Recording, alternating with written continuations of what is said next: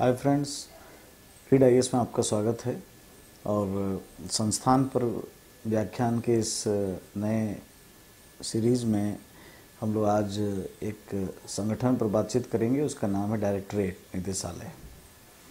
यह ध्यान रहे कि निदेशालय राज्य के स्तर पर अधिक होते हैं, केंद्र के स्तर पर नहीं होते हैं।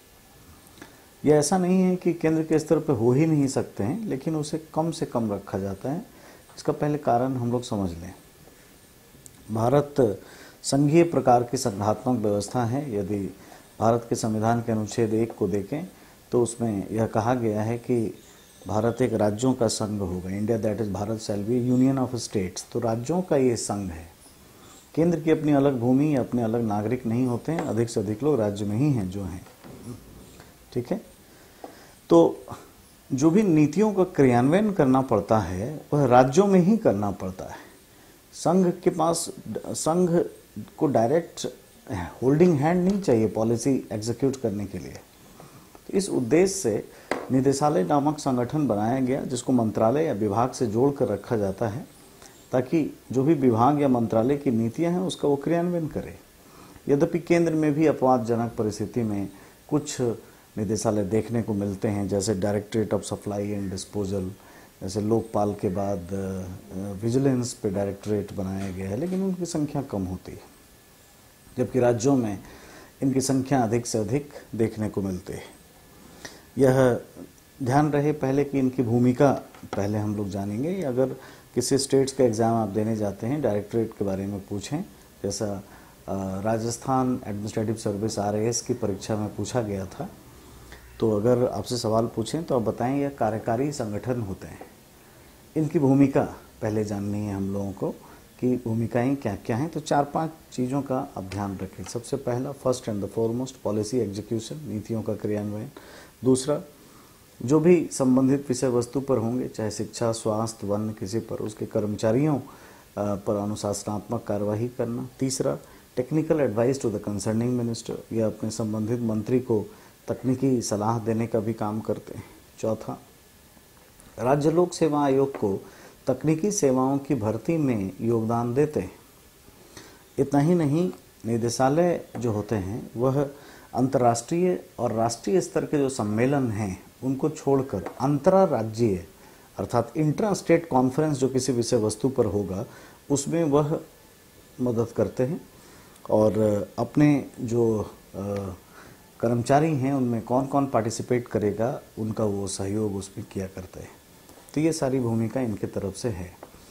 मुख्य परीक्षा में सचिवालय बनाम निदेशालय के विवाद पूछे जाते हैं। आपसे पूछ भी सकते हैं गवर्नेंस में भी। तो उसके लिए इतना समय तो नहीं होता है यहाँ पर। हम लोग कक्षा में वो डिटेल से बात करते हैं, परंतु तो बहुत शॉर्ट में मैं आपको रास्ता इसके लिए भी बता रहा हूँ। एक्चुअल में निदेशालय और सचिवालय के बीच का जो विवाद है वह वास्तविक कम है, मनोवैज्ञानिक अधिक है। मनोवैज्ञानिक इसलिए क्योंकि जो लोग भी निदेशालय में होते हैं, वो क्षेत्रों में काम करते हैं। जैसे पुलिस में देखेंगे तो डायरेक्टरेट ऑफ़ जो लॉ एंड ऑर्डर है, उसके लोग जो हायरार्की अगर आप देखेंगे तो डीजीपी आईजी डीआईजी है ना एसडीपीओ एसपी उसके बाद डीएसपी इंस्पेक्टर ये जो हायरार्की है, क्षेत्रों में चली जाती है धीरे धीरे तो ये अपने आप को मुख्यालय से दूर समझने लगते हैं, मंत्री से दूर समझते हैं। वहीं होम सेक्रेटरी या चीफ सेक्रेटरी मुख्यमंत्री से नज़दीक होगा, गृह मंत्री से नज़दीक होगा तो कहीं ना कहीं वो साइकोलॉजी जो है, वो एक अलगाववाद की इसमें देखने को मिलने लगती है। दूसरी ये कि अंग्रेज़ों के समय से ही सचिव शब्द जो है बड़ा पावरफुल रहता था। Secretary principal secretary chief secretary ये सब शब्द बहुत सत्ता के केंद्र समझे जाते थे। अगर आपके नाम में सचिव नहीं लगा है तो ऐसा माना जाता था कि कोई दम नहीं है। ऐसे नौकरी में जैसे डायरेक्टर सलाहकार, ये सब कोई नाम बहुत महत्वपूर्ण नहीं माना जाता था। ये ऐसा मैं नहीं कह रहा हूँ, ऐसी कमेटियाँ जो भी बनाई गई, वो कमेटियों का यही तर्क है इनके पीछे। जैसे वेस्ट बंगाल की एक रॉलेंड्स कमेटी थी, जिन्होंने यही बात कहा। नंबूद्री पाद जी के नेतृत्व में केरला की एक कमेटी थी, जिन्होंने ऐसा ही कहा।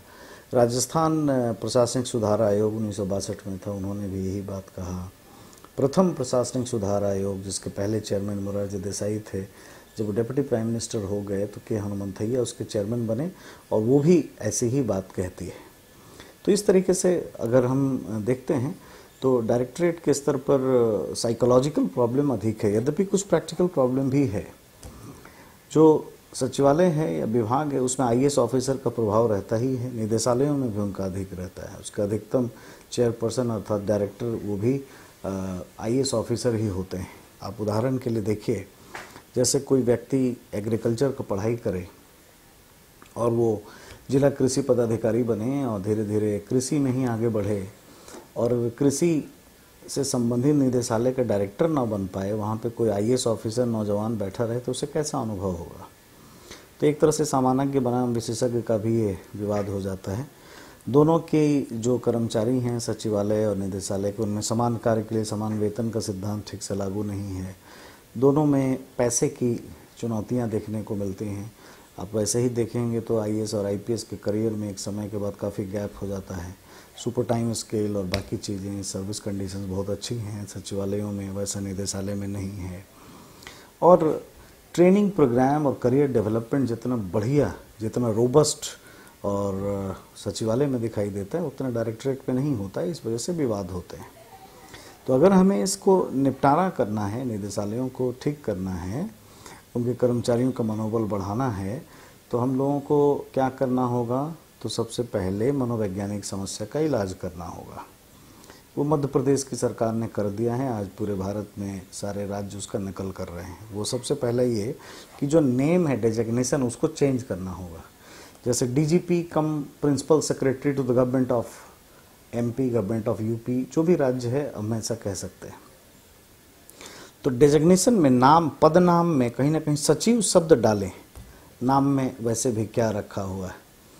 रोमियो और जूलियट का आप देखे होंगे, फ़िल्म और आप उपन्यास भी शेक्सपियर का पढ़े होंगे, जिसमें कहा गया है कि भाई गुलाब का नाम बदलने से उसकी खुशबू नहीं बदलती। है तो नाम रख दीजिए। मध्य प्रदेश ने ऐसा नाम कर दिया। निदेशालय के कर्मचारी ठीक हो गए कि उनमें भी सह सचिव शब्द लगा हुआ है। एक अच्छा है और सारी कमेटियों ने भी ऐसा माना था। दूसरा, दोनों सचिवालय और निदेशालय, दोनों का जो कार्यालय हो एक ही कैंपस में हो, एक ही सीढ़ी हो, रेड कारपेट एक जैसे हो। दोनों के लोग, फील ना हो कि मेरा थोड़ा छोटा साधारण है, उनका अच्छा है। मतलब जो सर्विस कंडीशन है, वो भी बराबर किया जाए, समान कार्य के लिए, समान वेतन के सिद्धांत को ध्यान में रखते हुए। एक जैसे चैलेंजेज हों तो एक जैसी सैलरी और बाकी चीज़ें उनकी दी जाएँ। बाकी लोग जेलअप कर पाएँ, इसके लिए थोड़े थोड़े टाइम में सचिवालय के कर्मचारी को निदेशालय में, निदेशालय वाले को सचिवालय में लेना चाहिए, ताकि उनके बीच संबंध अच्छे रहें, एक साथ ट्रेनिंग करवाइए। और कोशिश करिए कि ऐसा फील ना हो किसी तरीके से कि सचिवालय के कर्मचारी, मंत्री महोदय के नज़दीक हैं, उनके दिलों में हैं और निदेशालय वाले दूर होते हैं। तो ऐसी भावनात्मक समस्याओं का समाधान भी करें, तब जाकर निदेशालय बहुत बेहतर हो सकते हैं। भारत में निदेशालयों का बहुत कार्यकुशल तरीके का होना बहुत ज़रूरी है। यदि गांव-गांव तक हमें नीतियों को क्रियान्वित करना है तो गवर्नेंस में डायरेक्टरेट्स को अच्छा करना पड़ेगा। ये भविष्य के प्रश्न कभी बनेंगे, आप इसके लिए तैयार करके रहिएगा। अगले फिर किसी संगठन के साथ हम लोग जल्दी मिलेंगे। थैंक यू धन्यवाद।